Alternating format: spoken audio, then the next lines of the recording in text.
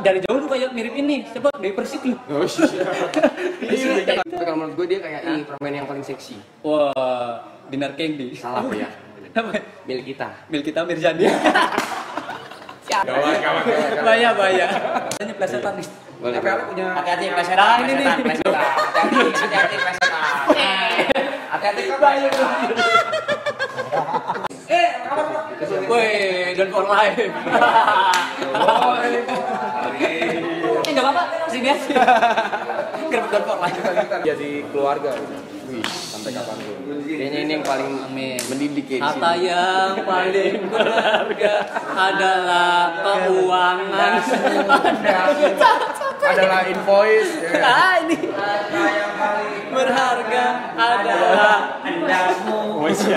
Eh, abis Semarang manggung di mana berarti nih? Udah kayaknya. Kita udah. Oh, udah. Terakhir. Hah? Eh, bahaya nih kalau ada yang ngaminin nih. Bahaya kalau ada yang ngaminin. Jangan, jangan, jangan. Kita main kayaknya. Tapi gue lupa di Jakarta. Jakarta kayak. Minggu depan enggak kayaknya. Minggu depannya lagi. Depannya lagi. Ayo. lagi lah main. Wis, mantap. Siap, siap. Oke, kalau dari gue terakhir nih Ip, ya. Gimana? Apa namanya? Seberapa penting karya fisik menurut kalian? Ah, Album fisik lah ya. kalau gua buat gua gini eh, menurut gua gua hidup di zaman yang uh, musisi ngeluarin fisik ya kan? Buat gua adalah eh, saat lo beli fisik itu ada kesenangan saat lo nyetel ada proses lo nyetel CD-nya sambil buka dengerin sambil buka-buka. Liriknya ya. Iya, itu kesenangan itu ya. Dan yang nggak ada di digital buat gua adalah saat uh, di di album fisik itu lo pasti akan mencantumkan teman uh, apa divisi-divisi yang membantu lo benar buat gua ya Gitu ya. karena menurut gua band itu nggak akan jadi kalau nggak ada uh, divisi lain yang bantu gitu. satu rekaman itu lo nggak akan jadi kalau nggak ada yang mixing kalau nggak ada yang bantuin apa engineer rekaman Benar. gitu Iya. Nggak ada orang studionya gitu. Jadi hal itu juga itu tetap ada post credit di nah, gitu. Karena lo harus memberikan karena mereka punya kontribusi di rilisan fisik. Iya juga ya. nah itu yang nggak menurut gua jarang ditaruh di rilisan digital. Keren banget. di digital jarang ditaruh gitu. Ya. buat gua lebih penting ke situ karena kita nggak bakal jadi apa-apa juga kalau nggak ada yang bantuin sebenarnya. gitu lo harus menghargai teman-teman lo yang berkontribusi di hal-hal yang lain menurut lo mungkin nggak terlalu nggak terlalu signifikan gitu tapi kontribusi tetap ada Sama ini gak sih kalau misalnya lo denger dari sini tuh audionya lebih keren lagi, lebih lebar gitu. Iya. ya secara Secara lo langsung gitu kalau CD digital kan udah ke kompres, Awal kompres gini gini gitu. iya. Pasti pas dengerin dari sini anjing banget nih pasti. Secara experience sih gitu sih. Itu yang jadi fenomena sekarang, Bang. Yo, Yang banyak kita obrolin ya. apa sama Dan- sama ini biasanya saat lo uh, dengerinnya rilisan fisik lo akan dengerin satu album Bener, Ah, bener. diplay terus ya. Iya. Enggak di skip skip ya. iya Udah. Terus apa siapa Udah on. itu Ya, yuk. Rotus Sonderan. Udah on. Udah on nih. Wah. Ya, tadi cerita apa tadi?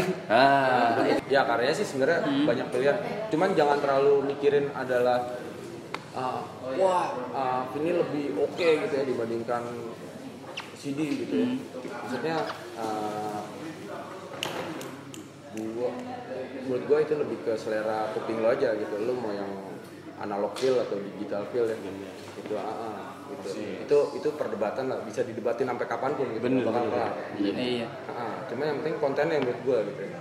Isi yang ada di itu yang harus lihat. Oh ternyata si ini yang mixing ya menyenangkan nih. Terus wah gue kalau mau, iya gue kalau mau uh, apa uh, ngeband, gue pengen di mixing sama dia nih. Berarti kan kita juga Gue mau diproduksi nama Ross Robinson. Ah, gini, saat dulu kan gitu kan, cari kan, wah, Iya. wah kalau sini, wah produsernya ini, gitu. Saat digital, udah cuma ketek-ketek, ah jelek, ganti lagi gitu. Mau nggak nyari playlist orang, wah playlist lagi galau nih, yang mana ya? Itu jadi ah. Karena menurut gua play, eh, saat bikin album itu, hmm. itu kan ada urutan lagu ya. Iya. Urutan lagu itu ya sebenarnya cerita tentang band ini, kenapa Iya.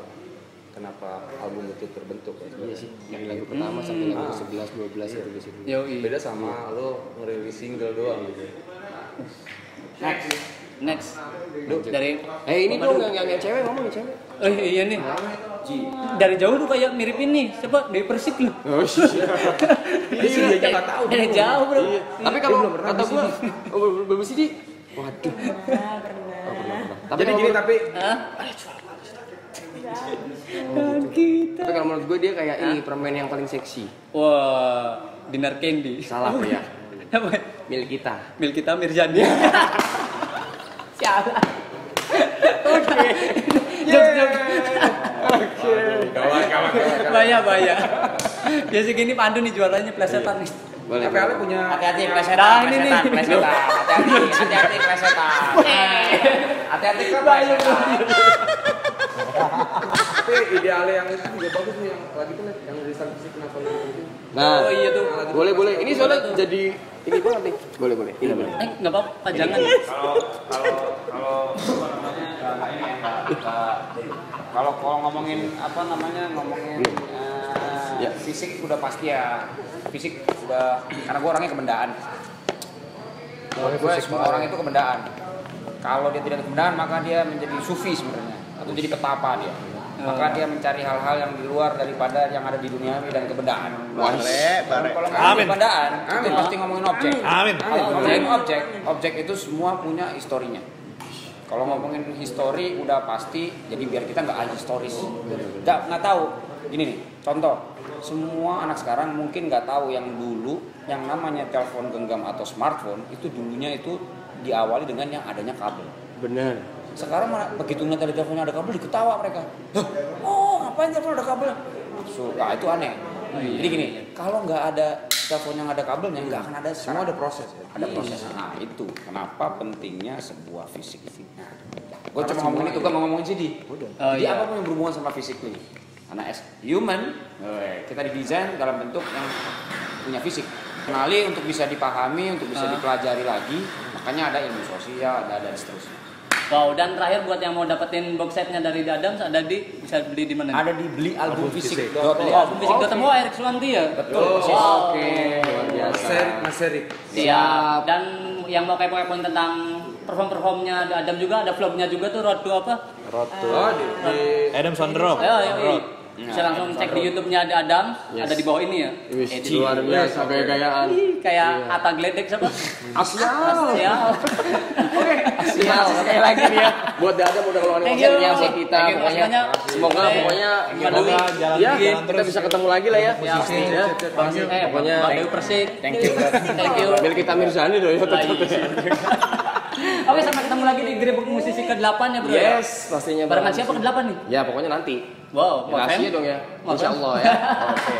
Atas izin. Iya, iya. Oke, sekali lagi mohon maaf kalau kita ada salah kata namanya juga komedi. Betul sekali. Kita dari Dua Blog mohon maaf kalau ada salah-salah kata ya. Terima kasih Yes. juga buat Fev, Fev Hotel, Bro. Yes, oke yang sudah kita meluangkan waktunya kita gerbek di sini. Yuk, yes, yuk. pokoknya terus saksikan YouTube kita di Jeng Jreng. Yeay. Grebek musisi Tok Tok, Flash. Ya, あ、そう。あ、